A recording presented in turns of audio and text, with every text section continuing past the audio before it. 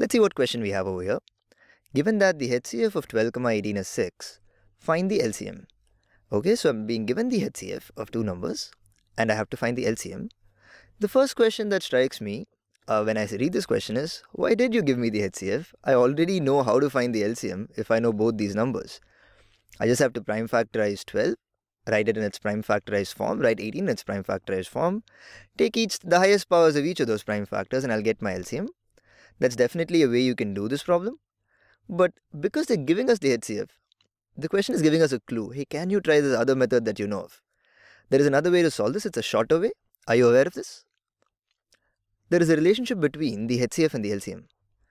Uh, think about that. Can you recollect it? The relationship is this. If you have two numbers, right, this is the HCF of these two numbers, right, and you have to find the LCM of these two numbers. The key, key term here is two numbers, okay?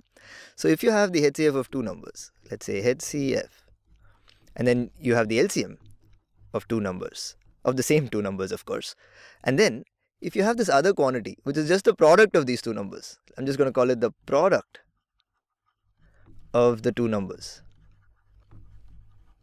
Two numbers. So these three are three quantities, right? HCF, you know how to find. LCM, you know how to find. Product, you, you've always known how to find. You just have to multiply these two. Then there is a relationship between these. And it's like the HCF into the LCM.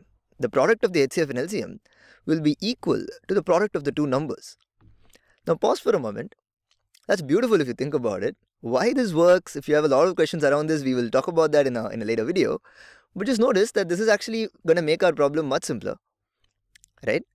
So if you believe this to be true, it's in the book. So let's believe for now that this is true. HCF into LCM equal pro equals product of the two numbers. Then how will you solve this question?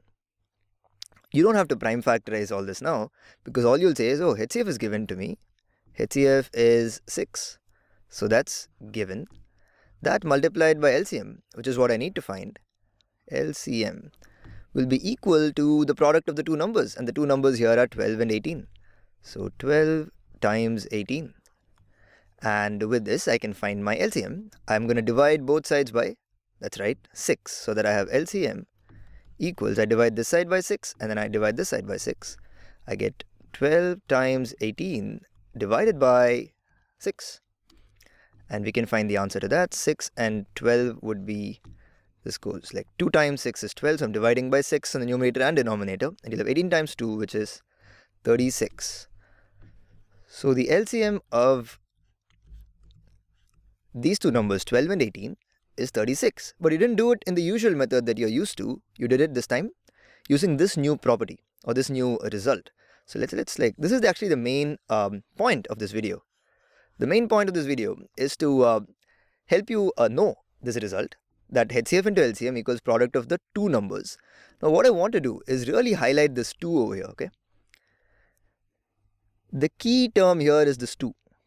Because if this had been three numbers, if you had been given the HCF of 12, 18, comma something else, so all three numbers the HCF is 6, find the LCM, you cannot do this. HCF into LCM will not be the product of those three numbers. So 2 is really the keyword here so as long as the question has only two numbers in it, HCF of two numbers, then this result works. Which must raise a question, right? Why? Why is it that it, that's the result? This looks so beautiful. Only works for two numbers. Think about that. I mean, it's a great question to think about. Uh, while you do that, right, one of the best ways to get comfortable thinking about these things is just solve one or two more problems do, using that. So let's do that. Let's solve one more question where we use this property. Now in this question, I have HCF of two numbers is 11 and the LCM is 693. So both the HCF and the LCM are given to me. One of the numbers is 99. Find the other number. Now, how do you want to think about this question? You just learned a new property, so your mind might be thinking, oh, I can definitely use it. Just before you conclude that, always verify, hey, it is two numbers, so it'll work. If it's three or four or five, it, it won't work. So it's two numbers, so yeah, we can use that property. And what is that property? The HCF multiplied by the LCM will be equal to the product of the two numbers. Maybe for now we can call these two numbers say uh, n1 and uh, n2. Just serious sounding names for the just the two numbers that we're looking for. So in this question what they're doing is that they're giving us the HCF and LCM and one of the numbers and asking us for the other number.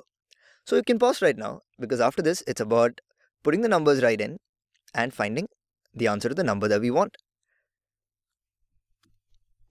I'm going to do it now. So HCF is what? HCF is 11. So HCF is 11 uh, multiplied by LCM is 693.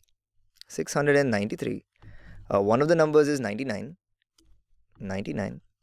And the other number is what we want. So now I'm just going to call it, yeah, N2 maybe. So how do I do this now? I'm going to divide both sides of the equation by 99. So that'll give me N2. N2 equals, I'm just bringing all this here, okay? Or actually I can keep this uh, on this side itself. It doesn't matter, right? So 11 into 693. 11 into 693 divided by 99. 693 divided by the 99 that I divided both sides by. So 99 and maybe we can go left side now. So uh, what happens here? So I know that 11 and 99 are nicely divisible. So this is 9 times 11. So I have this. 9 and 693, it should probably be divisible because we're looking for a natural number. So 69, uh, 9 goes, uh, what, 7? 9 7s are 63. So 7 times, uh, you have what? Um, 69. So you have 6 remaining, 63 or 77. So there we have it. Uh, the other number is 77. I can write it on this side also, 77. And we have it. So this new property, as you can see, is pretty useful. Um, if not for anything else in the real life, at least to answer many questions where we know three of these things and we're asked to find one of them. So all the questions you will see, in fact, most of the questions you will see where will be where you're given the HCF, LCM and one of the numbers or LCM and two of the numbers or HCF and two of the numbers. That's pretty much the types of questions we can be um, asked over here. So you, can, you don't have to really practice hundreds of questions here, right? Because you know all of the problems are going to be in this format. You just have to find out which of the three you have and uh, find the other one. So that's that's pretty much all we have to cover in, in this particular property. Except one big question, which is, hey, why is this property true? Why? Why does this work? Uh, can we have, oh no, that was a big ink smudge. So why does this property work? And also asking, why does it only work for two numbers? Like the same thing has become n into n1 into n2 into n3 into n4 or something, this doesn't work. So why is that the case? And I'm going to cover that in a separate video. Maybe I'll call that um, a HCF and LCM product uh, visualized or something.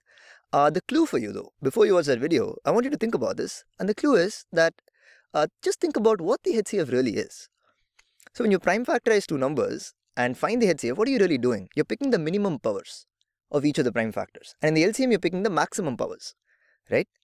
So think about what you're really doing when you're doing that and then think about what the product is in the same way. Like when you prime factorize the two numbers and think about what the product is. And when you think about it, you'll be able to see, oh, so that's why it works in the case of two numbers and why it doesn't work in the case of higher numbers.